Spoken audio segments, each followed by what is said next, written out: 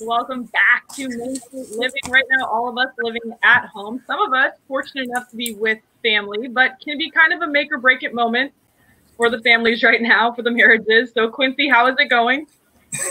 well, uh, I'm making it. As you can see, my hair is still not combed all the way, but I can tell you this: for for many of us around the globe, uh, relationships. Well, for many of us around the globe in relationships, living with others or coexisting during the COVID nineteen uh, pandemic has been quite a challenge. So, I'd like to welcome relationship expert Dana McNeil to the show. How are you doing, Dana?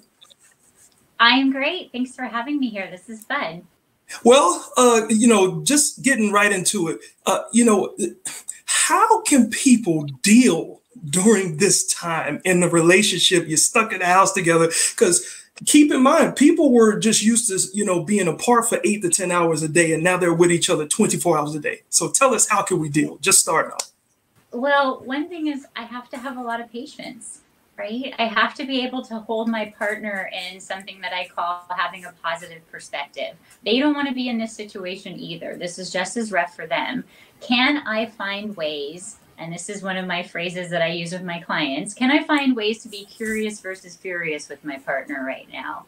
Can I find the ability to say, you know what, they're probably frustrated, they're probably frazzled, they don't want to be here either. They're not just doing this to irritate me. There's probably something that they're frustrated about or that they're worried about. Can I come at them from that perspective? Can I say, hey, babe, you don't seem like yourself, or you seem like you're really upset about something? Can we talk about it? Can you tell me what's going on with you so that maybe I can help versus us being butting heads with each other?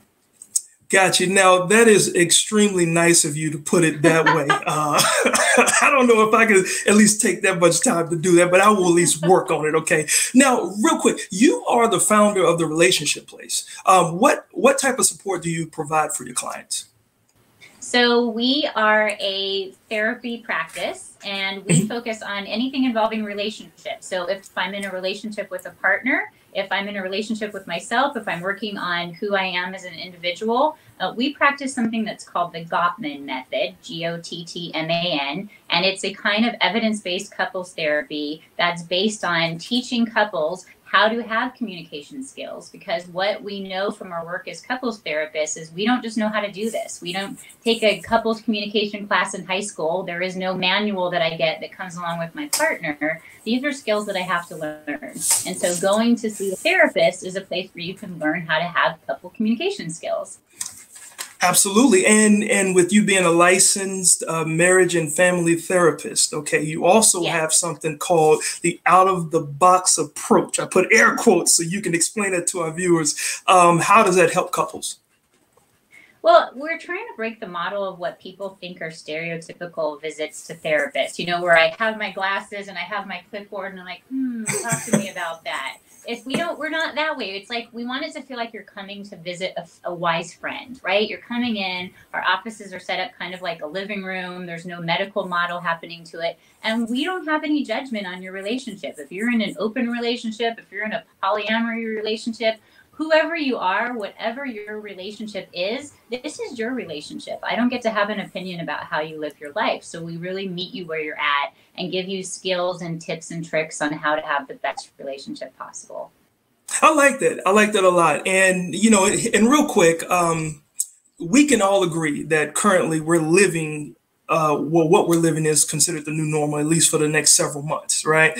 Um, but you've come up with a few guidelines for your clients and, and even for our viewers. Um, you know, like, can you just name off a few of them? Sure. One of the things that's really helpful is to set up your own space within your home. If that means that you set up a little desk that's designated as your work area where you get to put pictures that you love or flowers or something that's inspirational to you, and that becomes like off limits for the rest to your family. That's your dedicated workspace. Okay. Having a place where you can think and that is like clear for you and that it's set up the way that you exactly like it, where other family members know that it's off limits, can sometimes be helpful to keep you into that mental space of what work means.